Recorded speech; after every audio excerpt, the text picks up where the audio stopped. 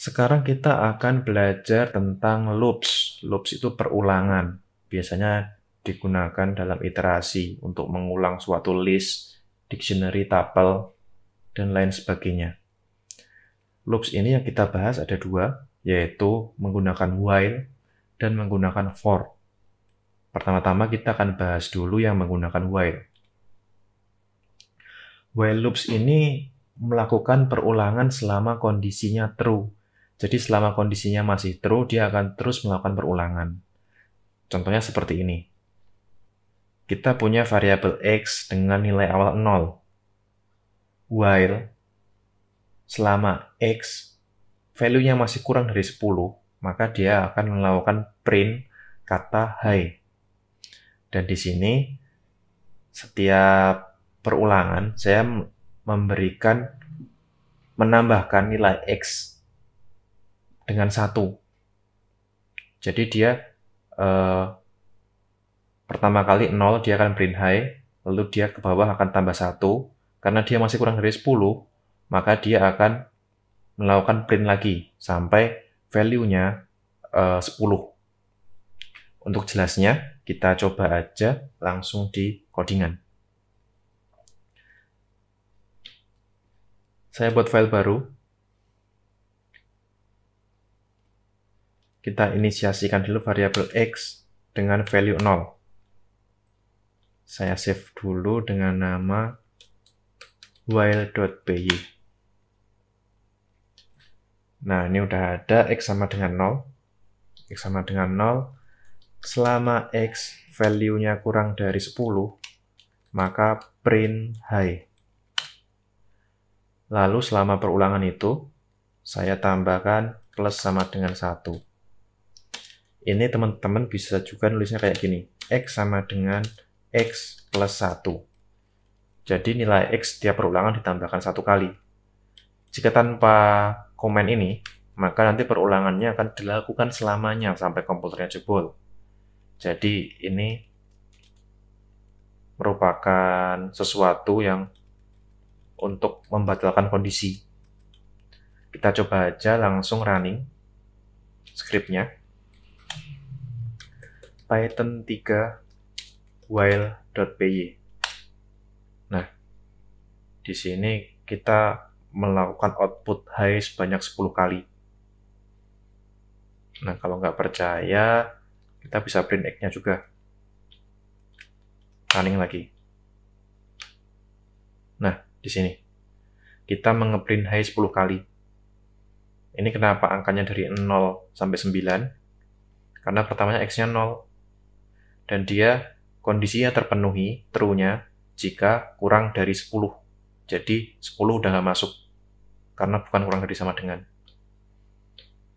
Nah, teman-teman kalau mau nampilin angkanya 1 sampai 10 bisa aja ini x plus 1 dalam kurung biar aman. Save, kita running. Nah, ini. Dari 1 sampai 10.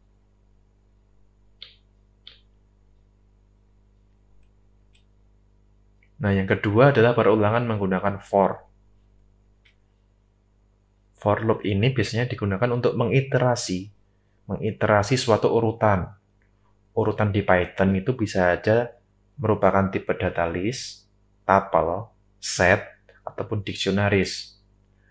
Masing-masing dari itu perbedaannya bisa cek di w School atau referensi-referensi lain. Di sini saya akan mencontohkan menggunakan list, list nilai seperti ini. Jadi list nilai ini merupakan kumpulan angka, kumpulan angka yang menandakan nilai di suatu kelas kalau ini saya bikinnya. Nih, ini nilai murid, variabel nilai murid ini ada value-nya sama seperti ini. Jadi nilai murid di suatu kelas, ini ada 10 apa ya? 2 ke 4, 6, 7, 8, 9. Oh, cuma 9 muridnya. Jadi nilai murid 9 orang ada di sini semua disimpan dalam data di sini. Lalu, penggunaan for. Kita bisa gunakan for untuk mengeprintnya, untuk menampilkannya. Caranya seperti ini. Untuk setiap nilai di dalam variabel nilai murid, kita bisa print nilai. Jadi saat setiap angka ini bisa kita iterasi menggunakan variabel nilai. Kita coba aja. Uh, new. Mungkin ini saya escape dulu, biar bisa saya copy. Ini saya copy variabelnya. Lalu saya paste. N. Nih, saya save for loops.py. Nah, udah jadi listnya. Ini kita bisa iterasi, kita bisa ulang.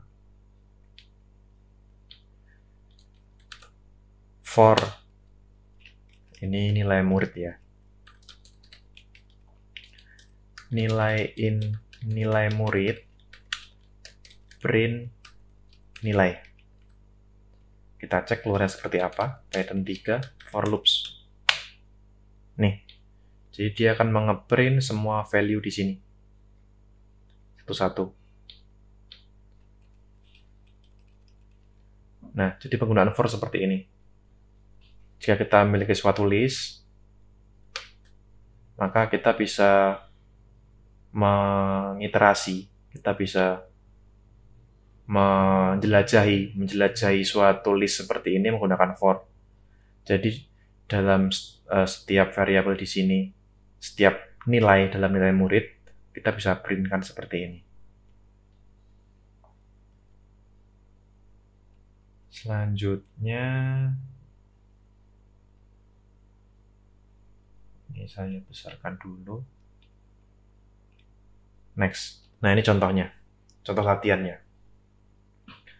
Program yang menampilkan nilai pangkat 0 sampai 5 dari input user misalnya input 3, maka dia akan mengeluarkan output 3 pangkat 0, 3 pangkat 3, 3 pangkat 9, eh, maaf, 3 pangkat 0, 3 pangkat 1, 3 pangkat 2, 3 pangkat 3, 3 pangkat 4, dan 3 pangkat 5. Silahkan pause kalau mau mengerjakan dulu. Sekarang saya akan contohkan gimana mengerjakannya. saya buat new file ini saya clear dulu biar rapi saya save dulu filenya dengan nama for exercise.py nah ini sudah ada. Kita kasih perintah dulu ke user. Inputkan sebuah nilai. Tadi ya nama variabelnya angka aja deh. Input jangan lupa diganti ke integer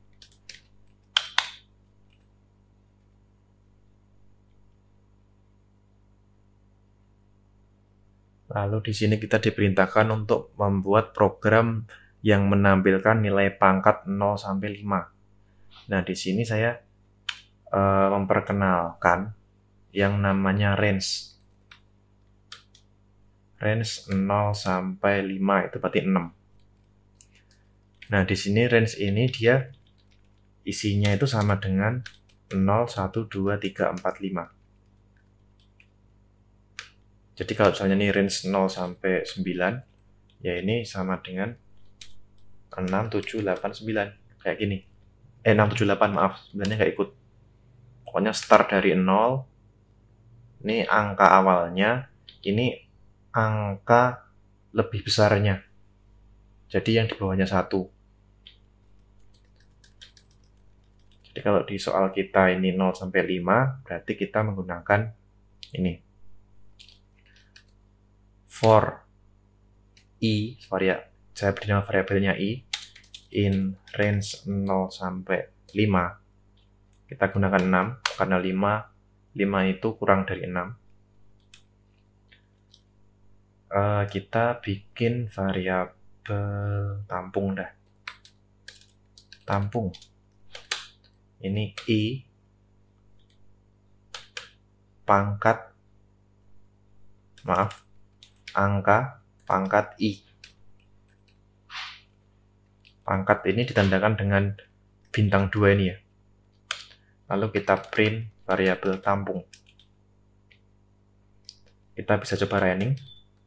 Python 3 for exercise .py inputkan sebuah nilai saya input 3 keluarnya ini.